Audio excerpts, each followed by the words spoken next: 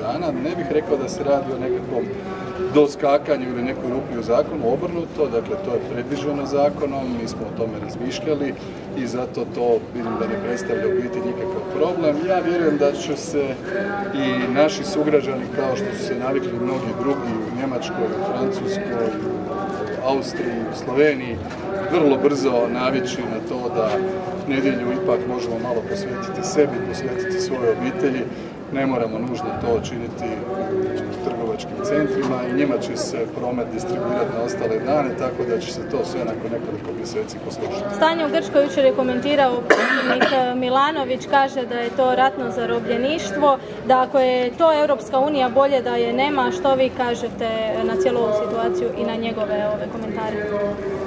Pa ja bih najprije podsjetio o čemu je riječ. Dakle, e, imali smo utakmicu koja je trebala biti održana između AEK i Dinama. UEFA je donijela formalnu zabranu da gostujući navijači mogu uopće ući na stadion.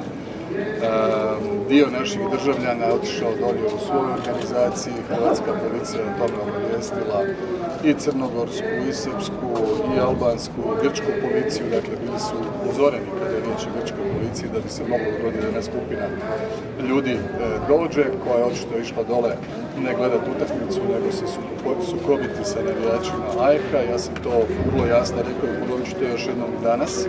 Sport da, nogomet da, E, sportsko navijanje da, huliganizam ne. I to snažno ne huliganizmu, moramo malo uspravno stati oko ključnih vrijednosti u društvu. I s te strane e, nama je itekako žao da se ovo dogodilo uopće. Ja sam stoga i nazvao grčkog kolegu Mitsotakisa i osudio nasilje, izražio žaljenje što je poginuo jedan mladi čovjek e, tijekom tih sukoba, ne prejudicirajući tko je za to odgovoran.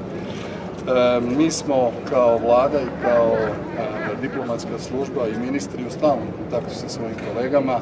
Ministar Grlić Radman je u kontaktu s ministrom vanjskih poslova Grčke, ministar Malenica sa ministrom pravosuđa. Naše veleposlanstvo i konzularni odjel je non stop na raspolaganju svim našim državljanima dole koji su trenutno pritvoreni u grčkim zatvorima. Ja sam kontaktirao kolegu Mitsotakisa. Zatražio sam da nam zajamči grčka država sigurnost e, naših građana u pritvoru u grčkim zatvorima i na tome ćemo inzistirati. Inzistirat ćemo isto tako i na pravednom i na brzom e, procesu, jer to je ono što je trenutku najbitnije. Vi, kao što znate, oni su prema grčkom zakonu optuženi za tri dijela. Jedno je e, udruživanje u neku kriminalnu organizaciju, drugo je nanošenje ozljeda i treće je e, prouzročenje materijalne štete koja se dole dogodila. Prema tome to su ozbiljna djela kojim se stavljaju teret. Ja sam uvjeren da oni koji su eventualno povezani sa ovim slučajem gdje je došlo do, nažalost, e, smrti jednog državljanima, njih ne može biti 100, ne može biti 98, to je sigurno. I stoga apeliramo na grčke vlasti da što brže i efikasnije provedu ovaj postupak i da se naravno velika većina tih hrvatskih državljana praktički deportira u Hrvatsku. To je ono što prenosimo kao poruku.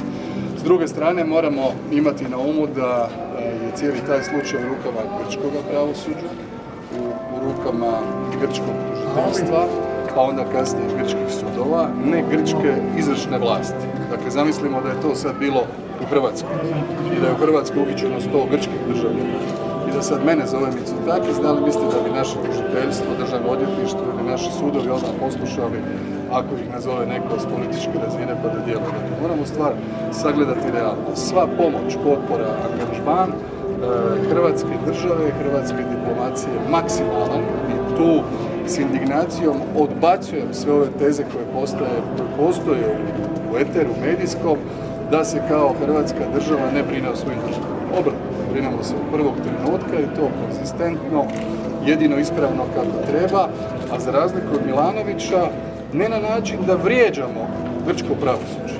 Dakle, ove njegove izjave koliko god možda mogu naići na odobravanje nekoga ko se solidarizira s našim državama tamo, toliko će im to štetiti.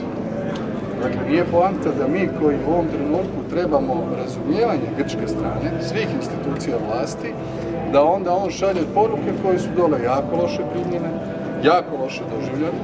toga. Oni su de facto i suci reagirali, ali moram priznati da ni politička razina nije baš oduševljena sa tim izjavama. Prema tome, bilo bi dobro, kao što su roditelji naših državljana meni pisali da im pomognemo, ja to činim i pomažem i to radi cijela vlada i cijela diplomacija, da isto tako možda njega zamole da im ne pomaže više.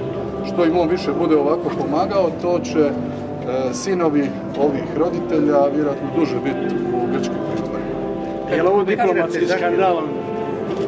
Što je diplomatski skandal? Ovo sve što se zbiva, Milanović odnosi, odnosi s vi odnosi između dva kluba, nogometni savez je umješan. Ne vidim diplomatski skandal, imate izjave predsjednika države koji sigurno neće pomoći našim državljanima tamo. Imate sustavan, konzistentan, ozbiljan rad i diplomata i konzularnih službenika i vlade.